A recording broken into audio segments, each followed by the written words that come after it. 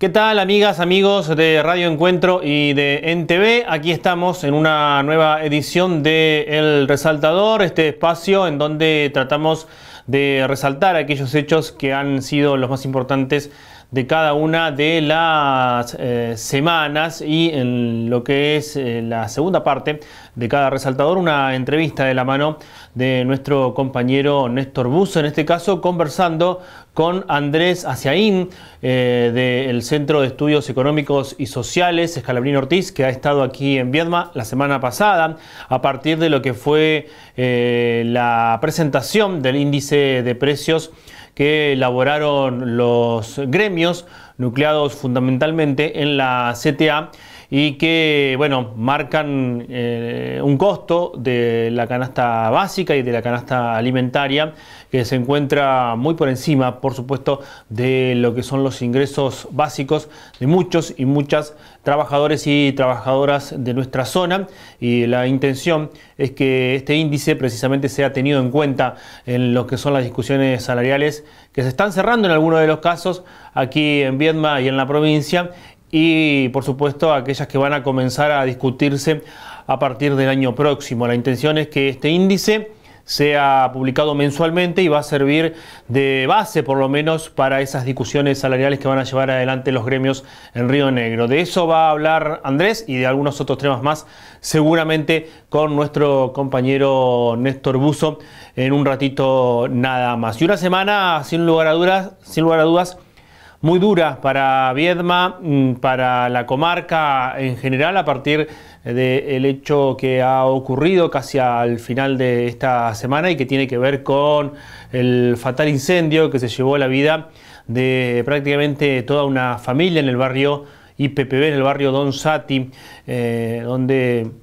producto del fuego que se generó aún no se sabe de qué manera, eh, una mujer junto con sus tres niños y niñas fallecieron eh, producto de ese fuego y de esas llamas que consumieron prácticamente toda esa vivienda del barrio IPPB. Esta semana fue sin lugar a dudas marcado por, por este hecho que dejó una vez más al descubierto la situación de fragilidad en la que viven muchas familias de nuestra ciudad,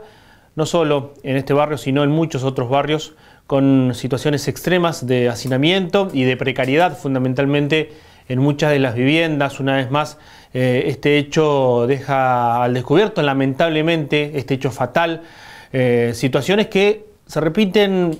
por lo menos en dos, tres o más oportunidades año a año. Lógicamente no tienen este desenlace fatal de seis personas muertas, eh, siete personas muertas, seis niños en este caso, eh, pero sí eh, recorriendo los barrios, aquellos fundamentalmente que están conformados por tomas de terrenos, son muy frecuentes los incendios de las viviendas, los incendios de las casillas. Por fortuna, en la mayoría de los casos no hay eh, víctimas fatales, pero no es un hecho aislado que se prenda fuego una casa por la precariedad de sus conexiones eléctricas o de gas. Eh, estos son hechos frecuentes que, bueno, salen a la luz y preocupan y mucho cuando ocurren desgracias como las que ocurrieron el día jueves, la madrugada del día jueves, pero hay que tener en cuenta y prestar atención porque no se trata de hechos aislados, ni fortuitos, ni que se dan por casualidad, sino que son hechos que se repiten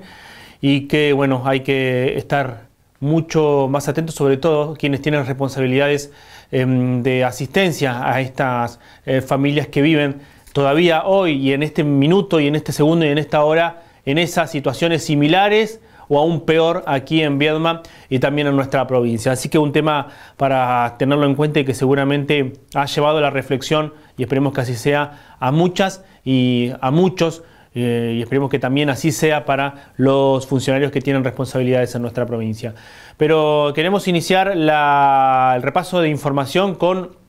lo que dejó el fin de semana pasado y también el día lunes eh, un nuevo recuerdo y un nuevo reclamo de justicia por la desaparición y el asesinato de Daniel Francisco Solano. Hubo actividades en el Valle Medio de la provincia, concretamente en Chuelechuel, con una movilización que se hizo el día sábado y la lectura de un documento que redactaron de manera conjunta vecinas y vecinos, amigos y amigas de la familia Solano. El principal reclamo es la cárcel para los policías, eh, los siete policías que están ya condenados a prisión perpetua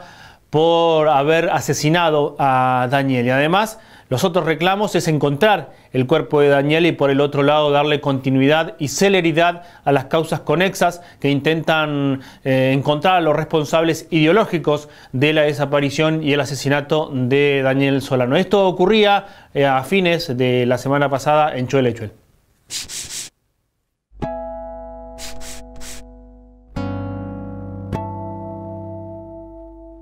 Necesitamos organizarnos de manera colectiva, como comunidad, para fortalecer la lucha y conquistar la justicia que tanto necesitamos. Y la tarea que nos queda es mucha, y sabemos que luchamos contra estructuras muy poderosas. Tenemos que encontrar a Daniel porque lo seguiremos buscando para que esta golondrina vuelva en paz. A pesar de la condena perpetua dictada el primero de agosto, no nos conformamos. No será justicia hasta que los policías estén presos, se avance con la investigación de las causas conexas de las multinacionales como Spofruit en complicidad con funcionarios públicos que garantizan la explotación. Exigimos el juicio y castigo de las policías Vega, Muñoz, Echegaray y Toledo. Cuando levantamos la bandera de Daniel, levantamos la lucha de todas y todos, los familiares de las víctimas del aparato represivo del Estado. Es por eso que hoy también, más que nunca, tenemos presente a nuestra querida compañera Julieta Vinaya, que falleció sin encontrar justicia por Atahualpa. El Estado no vela por nosotros y nos impide velar a, a nuestros muertos. Pero persiste un grito. Bajo el barro nos aguarda la tarea empezada hace siete años, llenarlo todo de grito. Daniel, te seguimos buscando. Justicia por Gualberto y Daniel. Cárcel a los siete policías. Cierre ya de Macuba juicio y castigo a los responsables empresariales, judiciales y políticos. Daniel y Gualberto Solano, presentes. Y en este contexto generado claramente por lo que son las políticas eh, que llevan adelante los diferentes gobiernos, la salida sin lugar a dudas es la organización. Y por eso queremos eh, presentar lo que fue el anuncio de estudiantes del CURSA del Frente de Estudiantes en Lucha que espera tener protagonismo en las próximas elecciones del Centro de Estudiantes del CURSA, dependiente de la Universidad Nacional del Comahue en nuestra zona. Se presentó esta semana y queremos compartir y de alguna manera también felicitar esta organización de estudiantes de nuestra zona. El Frente de Estudiantes en Lucha es una confluencia entre estudiantes autoconvocados que decidimos organizarnos en asambleas para, para luchar por la universidad pública y gratuita de calidad y la agrupación Carlos Fuente Alba, más estudiantes independientes que no pertenecen a ninguna agrupación, pero que decidieron eh, conformar el frente para formar parte del centro de estudiantes y, trabajar juntos con nosotros. Frente de Estudiantes en Lucha, nos encontramos en asambleas permanentes para defender la educación pública, para defender nuestra universidad, todas las universidades públicas del país. Nosotros y nosotras tratamos de centrar también la lucha más allá del contexto que nos envuelve y que de hecho la lucha nuestra empezó en las calles, uniéndonos eh, con los trabajadores también en sus, en sus reclamos, pero también resaltamos que hace falta más participación estudiantil dentro de la universidad. Tenemos también una realidad en, la gestión actual de la universidad que nos hace estar en tensiones constantemente y nosotros trabajamos justamente para que los estudiantes tengan más oportunidades y, seamos nosotros quienes, quienes conduzcamos el centro eh, aquellos que también salimos a las calles y, defendemos la universidad y, no que nos centremos solamente en aquellos estudiantes que caminan los pasillos y aparecen solo en ciertas elecciones. Hoy nos toca una realidad que nos quiere pasar por encima y nosotros no, no, no nos vamos a dejar pisotear, y a nosotros nos moviliza eso. Queremos que sepan que tienen un centro de estudiantes que va a estar firme ante las problemáticas de los estudiantes. Nosotros tratamos siempre de ser, eh, y lo mantenemos en, uno de nuestros principios, ser una agrupación independiente, no atarnos a ninguna gestión, obviamente no estamos eh, en línea con la gestión actual del CURSA, eh, pero tratamos justamente de no, de, no aliarnos ni, nada, mantener todavía la autonomía como centro de estudiantes, creemos que eso es lo más importante nosotros como para desempeñarnos como, como estudiantes dentro del centro y también para formar una opinión crítica con respecto a las luchas que nos, que nos apetezcan afuera. Otro de los temas centrales eh, que vamos a seguramente detallar la semana próxima tiene que ver con lo que ha ocurrido en las últimas horas en San Carlos de Bariloche, porque miércoles, jueves y viernes se han desarrollado los alegatos en el juicio que se lleva adelante a policías y autoridades policiales y gubernamentales que fueron de alguna manera responsables de los eh, homicidios de Sergio Cárdenas y Nicolás Carrascos ocurridos el 17 de junio del año 2010 en San Carlos de Bariloche. Vamos a tener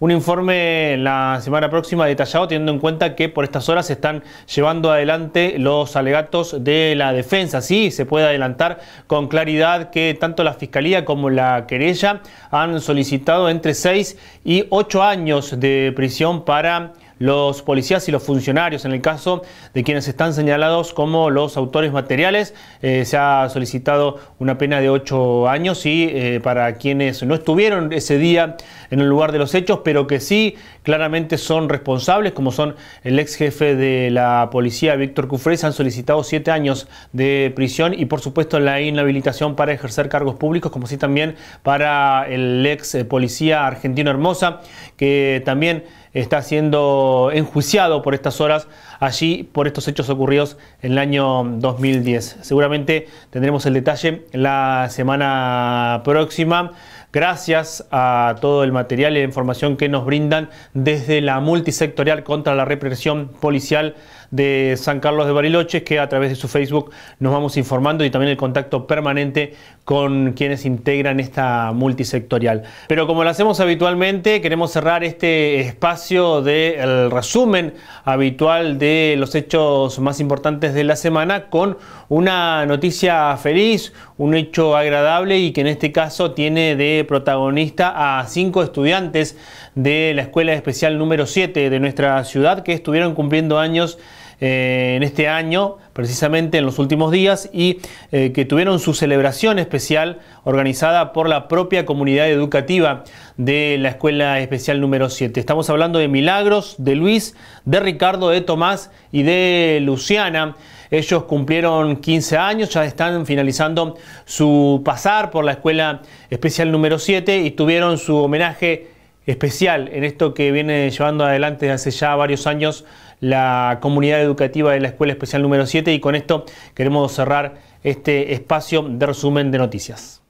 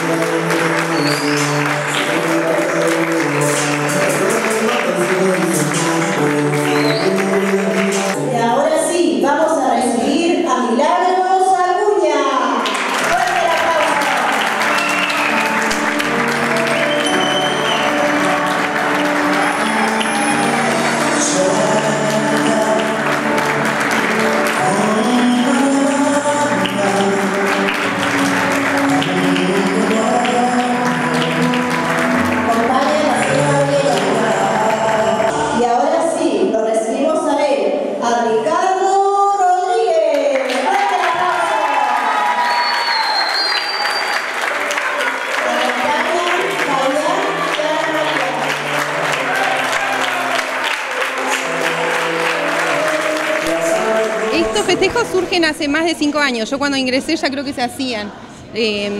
con el festejo de, los cumple 15 de las nenas y este año hemos incorporado también el festejo de los cumple de los varones. Eh, esto más que una, una, una, presentación en sociedad eh, tiene que ver, es como un interludio de lo que es después la despedida de fin de año porque son chicos que ya egresan, entonces bueno, aprovechamos la ocasión para hacer una fiesta más grande, con la participación de las familias. En este caso son chicos, eh, son, cinco chicos, tres varones y dos nenas. Y la organización de este evento es eh, de la escuela en conjunto con la familia. ¿Cómo es eh, la organización? La organización es en conjunto de la escuela, o sea, todos los docentes en conjunto con los directivos. También hay que agradecer porque contamos con la participación de muchas entidades y personas que nos ayudan porque colaboran desde tortas, desde las bebidas, la comida,